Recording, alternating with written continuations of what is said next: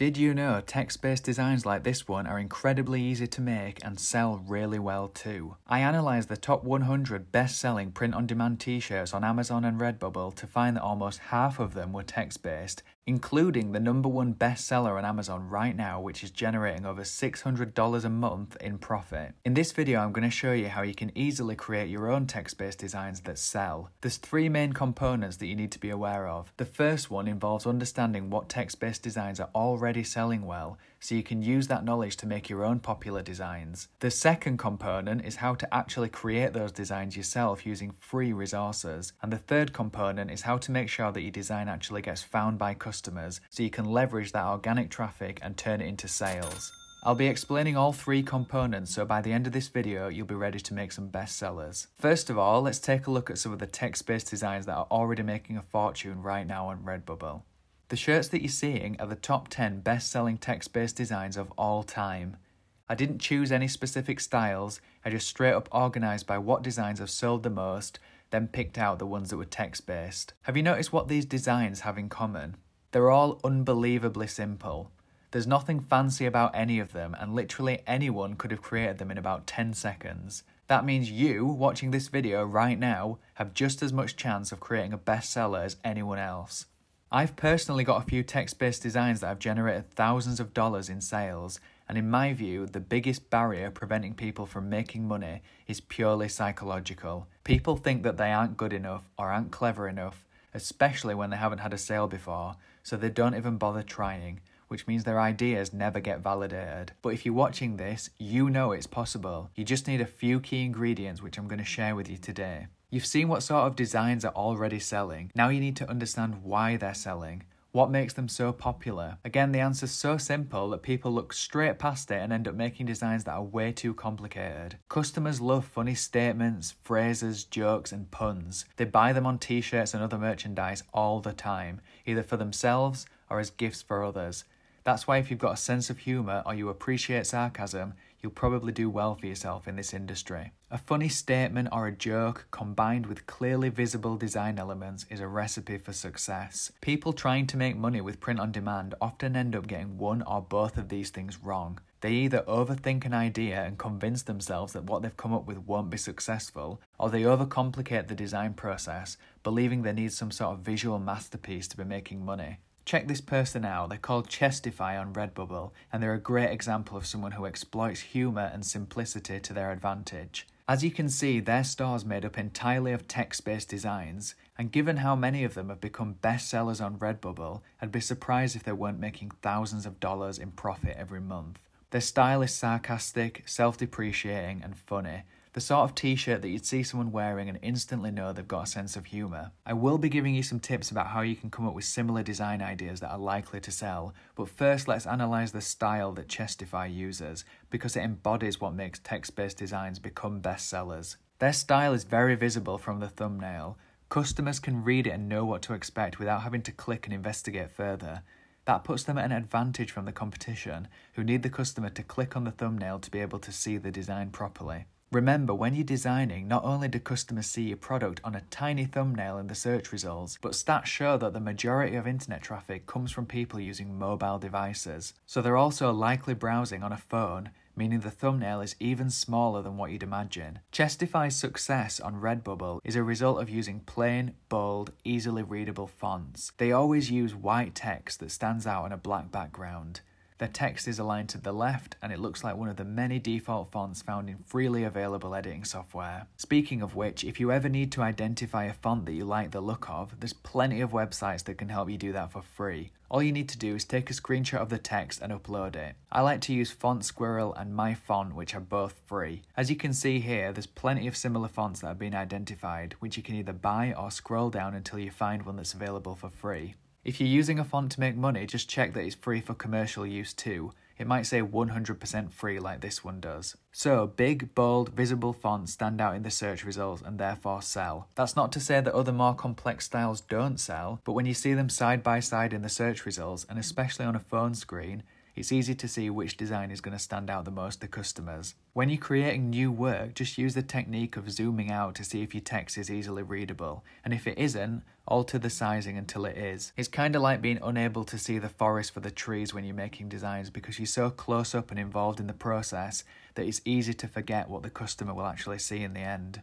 It's important to get some perspective and view your design as if you were a customer looking at a thumbnail. When it comes to the practicalities of creating these text based designs, if you haven't got Photoshop, that's fine. You can just use a free web based alternative called Photopea. I won't go into massive detail about that because I already made a video on it, and if you want to see it, I'll leave a link in the description. You can also use free graphic design sites like Canva, which has a massive range of text based options and templates to choose from too. I'll put a direct link to the t shirt creator in the description. Just look for the free tag when you're editing or using their elements. They even have a typography section full of templates that you can use for text based designs. Some of the better options have watermarks or require a subscription to access, but there is a 30 day free trial if you want to use the pro features. If you find them worthwhile, you can continue your subscription and hopefully it'll end up paying for itself with the profit that you make from print on demand. When it comes to design ideas, you can get inspiration from almost anywhere. One of my favourite places is Reddit because I genuinely enjoy browsing the website anyway. The posts that I see and the comments that I read often help me come up with great ideas and new niches to target. But you can also think about areas that you're personally interested in. For text based designs, it's useful to think about popular phrases and how they fit together to create a unique statement in your chosen niche.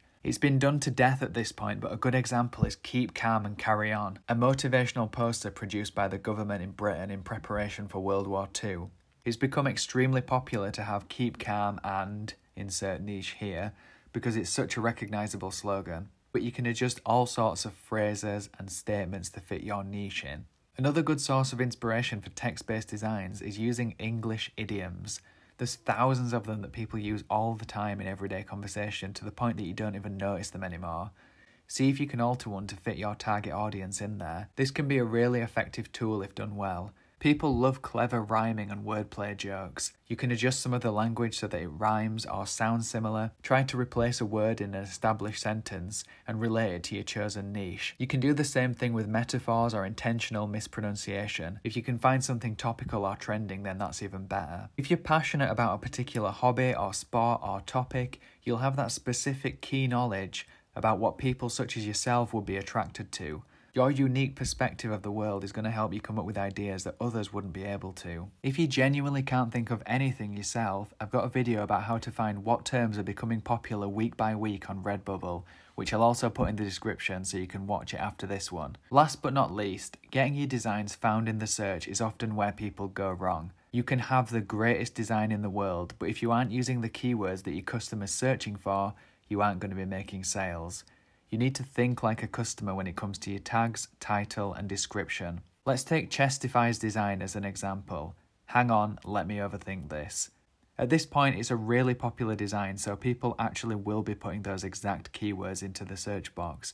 But if you're coming up with something that hasn't been done before, it's unlikely that your customer is going to be typing those exact keywords into the search. It looks like Chestify understood this to some extent when writing the tags for their listing, as they've used keywords like anxiety, anxious, introvert, overthinker, and self depreciating humour. All useful descriptive words that customers might be searching for. The point is, don't just use the words that are included on your text based design, consider your target audience and what they would be searching for, as well as the amount of competition that's available for each tag that you use. Just look up the tags yourself and check how many listings are already there. If there's millions of results, you might want to narrow it down a bit. You only get to choose 15 tags on Redbubble now compared to the 50 that you used to be allowed, so choose wisely based on both popularity and competition. Don't only use the phrase that you've got on your design, as it's likely that the customer isn't going to be putting those exact words in when they're looking to buy. I've got a video that goes into more detail about Redbubble tags, which I'll also link in the description. I'm planning on making an updated video soon, so if you're interested in that, make sure you subscribe. It wouldn't be fair for me to do a video about text based designs without also talking about the negatives. They're extremely easy to make,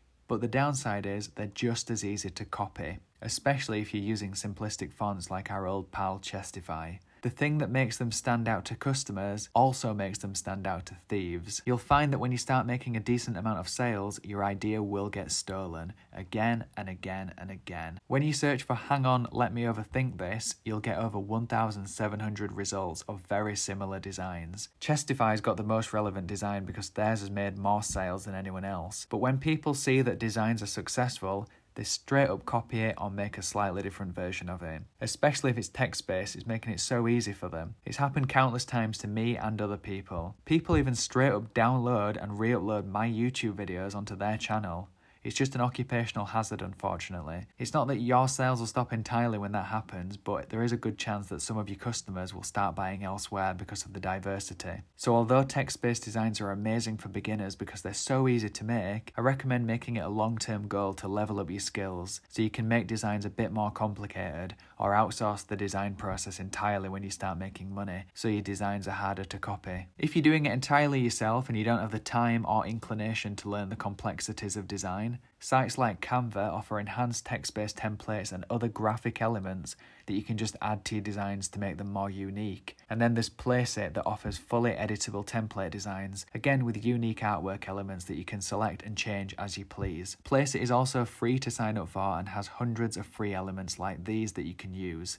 The paid version gives you access to all their resources, including the mockup templates, and I've got a 15% off code that I'll put in the description too if you find that useful. Hopefully, now you understand a bit more about what makes a text based design successful, how to come up with ideas, and how to make your own. If you've watched this far and found the information helpful, I'd really appreciate if you could give this video a thumbs up or leave a comment because that helps me rank on YouTube and beat any thieves out there.